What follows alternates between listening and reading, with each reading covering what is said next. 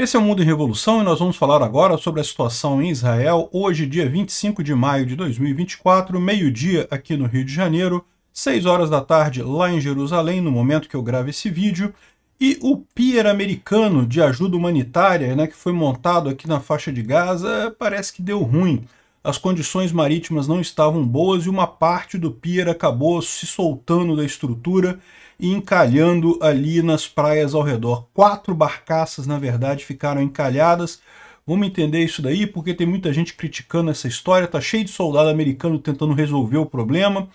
Isso sem contar a questão dos ataques do Hamas contra o Pier. Né? Essa ideia do Pier nunca foi uma grande ideia. A solução de Israel de trazer as coisas aqui por Ashdod e pelo porto de Ashdod, que é um porto já montado, né? E trazer por caminhão entrando aqui pelo norte da faixa de Gaza, muito mais razoável do que essa ideia do pier dos americanos. Mas enfim, é, é o que temos, né? Vamos ver o que, que teve aqui. Israel conseguiu também fazer um grande ataque aqui em Rafah contra um bunker do Hamas e atingir um dos líderes ali do Hamas, da brigada do Hamas, lá em Rafah, uma excelente notícia, e também atingiu é, terroristas aqui em Jabalia. Né? E também, como se não bastasse, aqui em Damascus também um líder do Hezbollah foi atingido no carro e morto de ontem para hoje. Né? Um movimento que poderia ser chamado de insubordinação está tomando conta das tropas israelenses aqui na faixa de Gaza. Tá?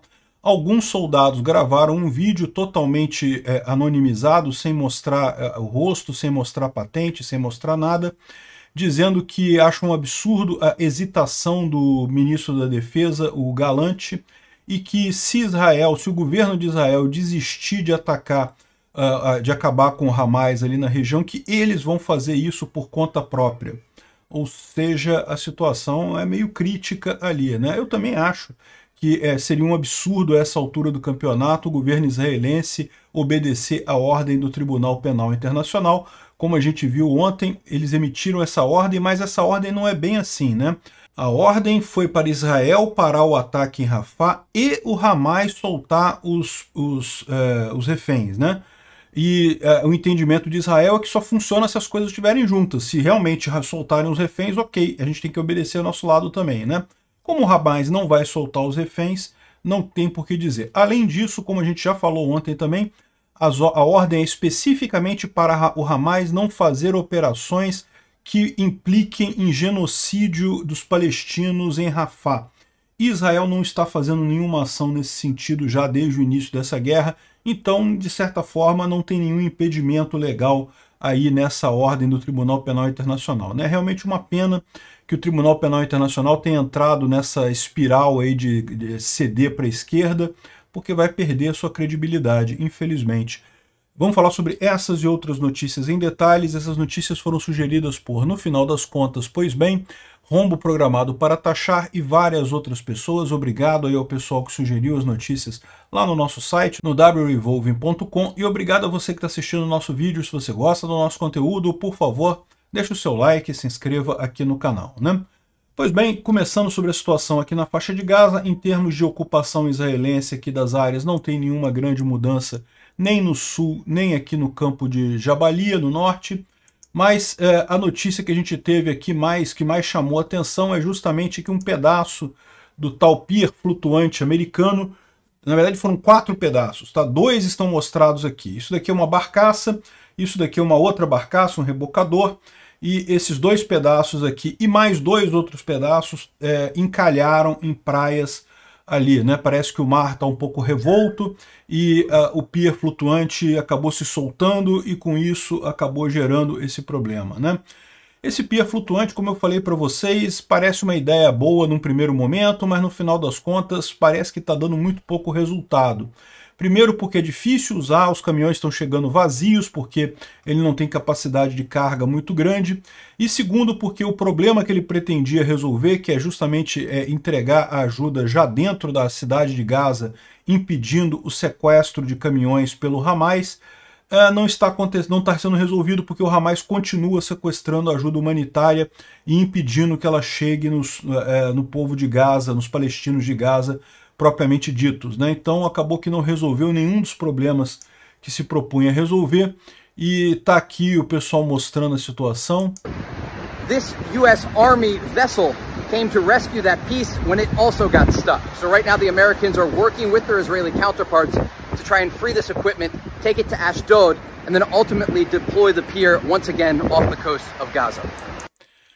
Ou seja, ele está dizendo que aquele pedaço soltou, o outro foi lá para tentar resgatar e encalhou também e deu problema. Mas a informação que a gente tem é que são quatro pedaços no total que soltaram. Mas enfim, aqui uma outra imagem da coisa, né? Tá um monte de soldado aqui americano é, é, olhando isso daqui, né? É, o Sal Mercogliano, que é, é, especialista em marinha, ele diz que isso daqui não é parte do pier flutuante. Segundo ele, isso daqui é um veículo de carga lateral, um, uh, um rebocador para carga lateral, que é usado para manobrar seções das barcas de um lado para o outro. Né?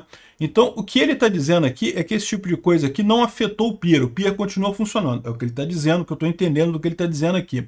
Isso daqui seria uma coisa uh, adicional, só que teve algum problema de falta de potência acabou uh, encalhando ali na praia, né? O pessoal está aqui olhando para ver o que, que faz para tirar esse rebocador daqui, tirar essa parte daqui, né? É, eu não sei como é que eles vão fazer isso, porque parece a essa altura que está totalmente alagada esse pedaço aqui do pier, né? Como que eles vão resolver, eu não sei. E uma coisa que está chamando muita atenção do pessoal, o David D está apontando aqui que os Estados Unidos prometeram que não haveria o que eles chamaram de boot on the ground, né? não vão botar as botas em terra, os americanos eles iriam só manobrar as barcaças ali e iam fazer ajuda humanitária, e mas não iam botar os, os pés no chão ali na faixa de Gaza, né? E aí ele está apontando aqui para a região, dizendo, olha só, tá vendo isso daqui? Ó? Isso aqui é uma bota americana, isso daqui logo embaixo dela é o chão da faixa de Gaza, né? Aqui, ó, deixa eu ampliar essa foto aqui para ficar mais claro, mas acho que vocês entenderam a coisa, né? E não, isso daqui não é soldado israelense, porque israelenses não usam é, é, uniforme camuflado. Então esse pessoal de uniforme camuflado aqui é americano, e a gente tem aqui exatamente aquilo que o Biden prometeu que não teríamos, que é bota no chão na faixa de Gaza. Por quê? Qual que é o problema disso daqui? O que, que vai acontecer se a, o, o Hamas fizer um atentado contra esse pessoal aqui e matar esses soldados? Os, os, americanos vão deixar por isso mesmo? Ou vão querer reagir também e entrar nessa guerra? Né? Então, essa é a preocupação do pessoal. Né? Enfim, essa, é, isso é o que está acontecendo ali na faixa de Gaza.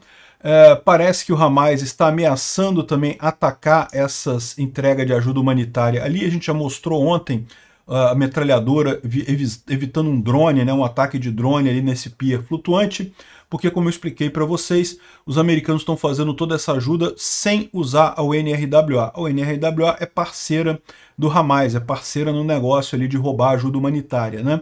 Então, é, é, estão querendo atacar esse pessoal. Imagina a confusão que isso pode dar, né? Bom, mas temos uma boa notícia no que tange a ajuda humanitária. O Egito concordou em passar ajuda humanitária através do portão de Rafah. Aqui, lógico, eles estão dando uma, né, uma, é, uma conotação ruim, né, porque não, Israel está do outro lado do portão de Rafah, mas não tem nada demais, está tudo controlado, ou seja, a ajuda humanitária vai voltar a fluir pelo portão de Rafah.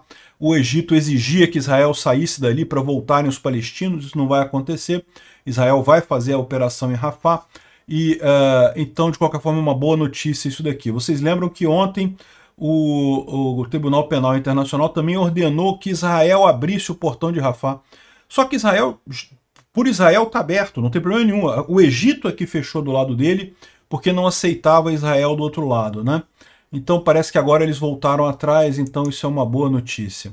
Bom, o pessoal aqui já está chorando, falando que Pouco depois do Tribunal Penal Internacional ordenar o fim da operação em Rafah, os eh, cidadãos ali de Gaza reportam um grande ataque israelense em Shaboura, que é ali na região de Rafah, justamente, e realmente foi uma explosão muito grande. Vou mostrar para vocês aqui.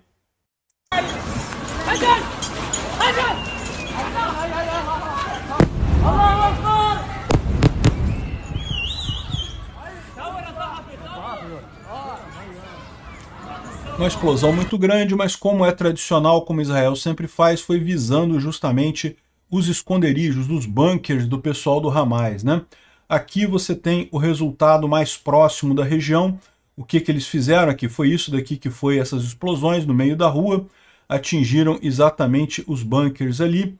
É, aqui, ó, vários buracos no meio da rua, justamente visando é, os túneis que estavam embaixo da rua, né? E, é, é e aqui o esconderijo do, do Hamas. 15 bombas Bunkbuster foram usadas no ataque que matou Muhammad Shabana, que era o comandante das brigadas de, do, de Hamas em Rafah. Então, é, isso foi aquela explosão que a gente viu ali, certamente uma operação que já estava em curso, né? E ele estava escondido nesses túneis, nesses bunkers debaixo da terra. E uma coisa interessante, né? Se você olhar aqui, ver que o, o tamanho do buraco que fez, né? a bomba ela não teria capacidade de tirar essa terra toda daqui. O que acontece justamente é que ela encontrou alguma coisa ali embaixo, um bunker, um túnel, alguma coisa, e aí o, o a terra cedeu né, e acabou uh, uh, tampando o túnel ali embaixo. Né? Foram vários episódios desses aqui nessa região, justamente esse ataque. E o rapaz que foi eliminado é o Muhammad Shabana, é o número 5 do Hamas, né, tá aqui no, no baralho como número 6, foi eliminado de ontem para hoje. Né? Então, excelente notícia no final das contas. Continuam as operações israelenses ali em Rafah, mas continuam dentro dos limites impostos pelo Tribunal Penal Internacional.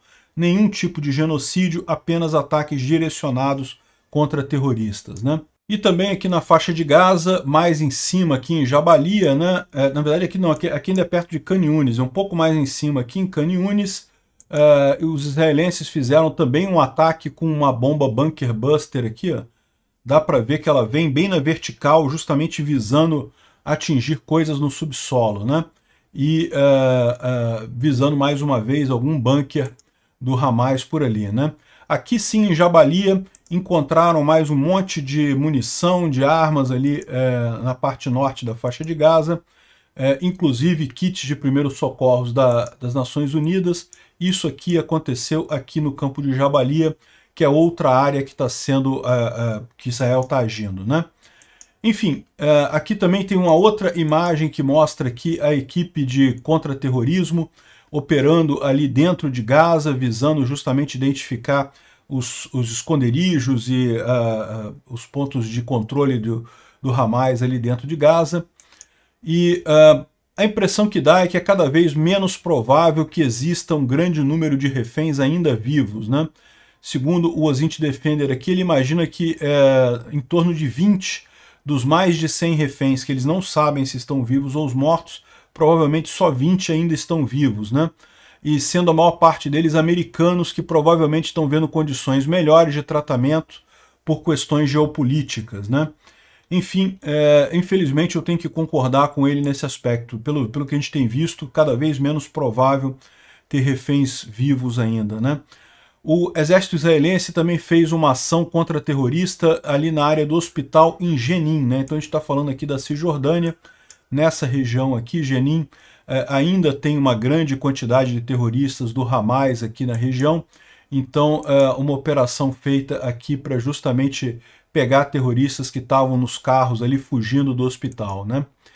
Bom, além disso, teve um ataque feito por Israel em Damascus, né, na capital da Síria, que é, reportes não confirmados sugerem o assassinato de um eixo do é, um alvo do eixo do Irã, né?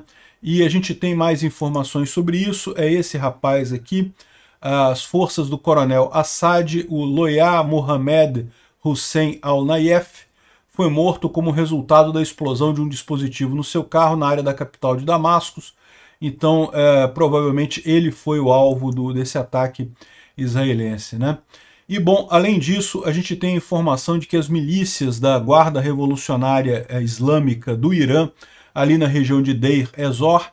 A gente está falando Deir Ezor é aqui na Síria, mas nessa região aqui, ó, bem no, no leste da Síria, nessa região do rio Frates aqui, esse monte de cidadezinhas aqui, vocês lembram, há um tempo atrás, por pedido da própria, do próprio Irã, essas milícias pararam de atacar os americanos e uh, parece que teve agora uma grande, um grande reencontro de vários líderes de milícias e uh, a pauta, principalmente envolvendo Kataib e Hezbollah, que é uma dessas milícias, é reconsiderar o acordo em que é com o governo do Iraque para não atacar os Estados Unidos ali na região. Ou seja, eles estão planejando voltar a atacar os Estados Unidos ali na região da Síria e do Iraque. Né?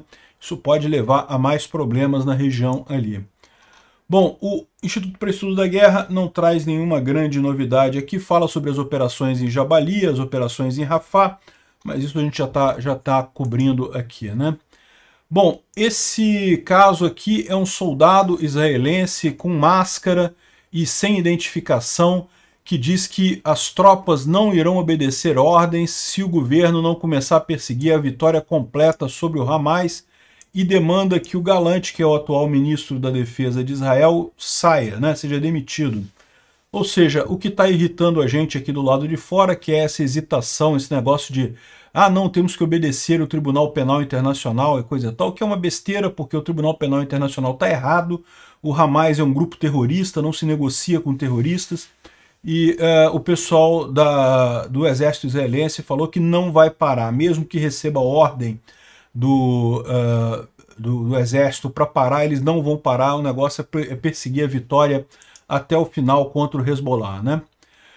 Bom, os últimos três reféns que foram recuperados em Rafah, agora, eu, eu, olha só o que eu falo para vocês, o tempo todo esse pessoal fala Rafah, às vezes falam Jabalia, eu não sei, né? Eu achava que era em Rafah mesmo que os reféns tinham sido recuperados. Agora estavam dizendo que era em Jabalia. Eu falei, não, foi em Jabalia então, devia estar errado. Agora estão falando em Rafah de novo eu já não sei mais onde é que eles foram recuperados, mas foram recuperados dentro da faixa de Gaza. Né? Três reféns que foram recuperados em Rafah não foi através da inteligência. Né?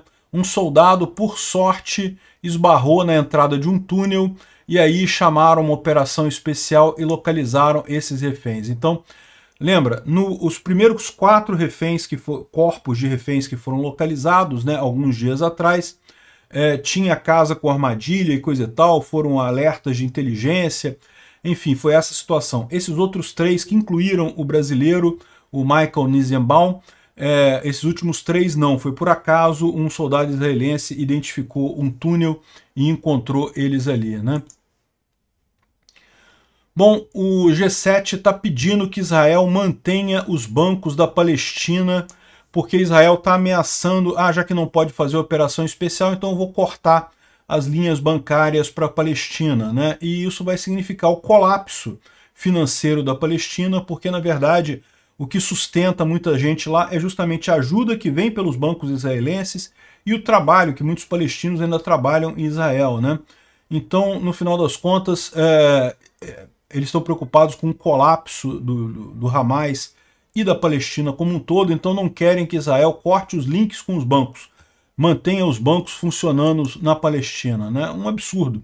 Ué, Israel não pode nada? É isso? Tem que aceitar um grupo terrorista e não pode fazer nada? É uma idiotice sem tamanho isso.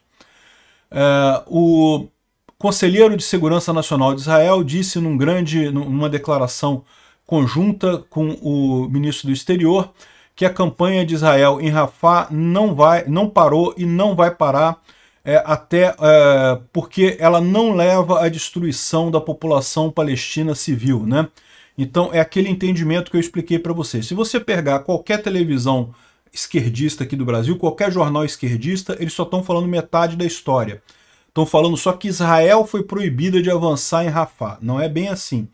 É, Israel foi proibida de avançar em Rafah de forma a comprometer a população palestina.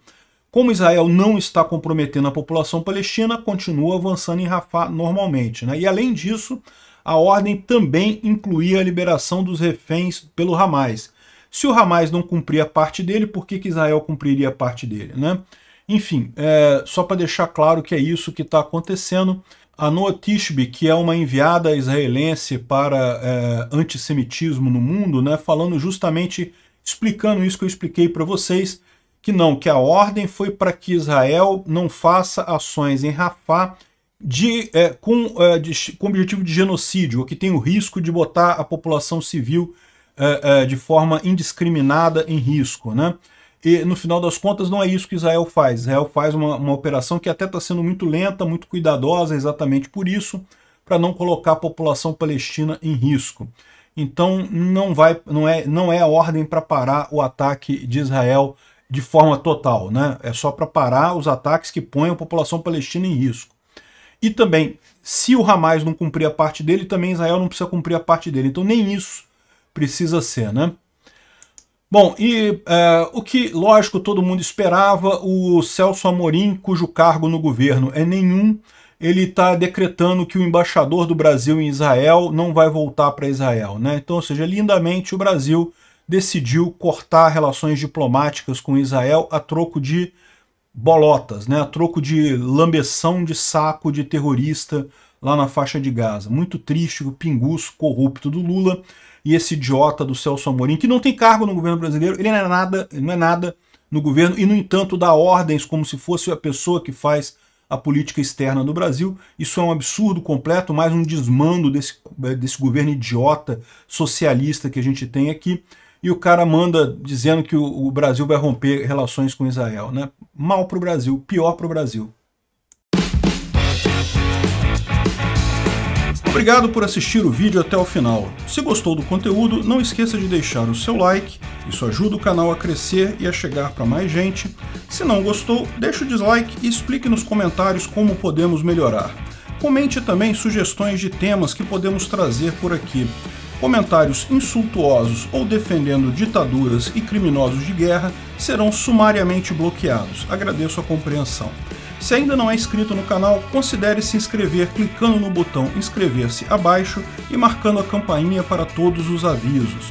Se quiser ajudar o canal, veja no nosso site como você pode fazer isso.